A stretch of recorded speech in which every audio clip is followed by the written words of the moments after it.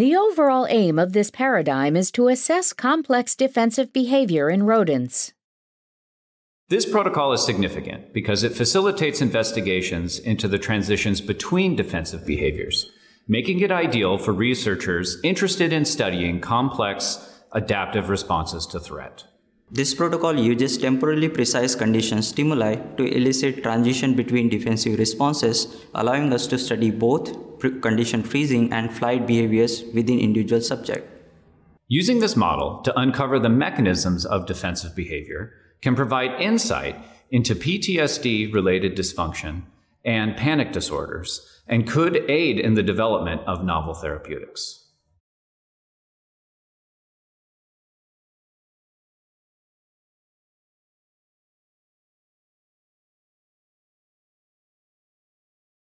To set up the behavioral protocols, in the program, define the SCS, setting the stimuli to be delivered as either a 10 second pure tone or a 10 second white noise, and defining the intertrial intervals to be presented pseudo randomly following each trial.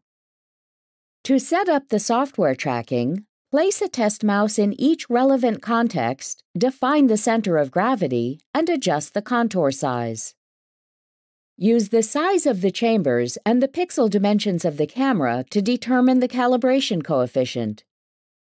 Then generate the TTL pulse code for synchronizing the event markers of the central computer to their real-time occurrences.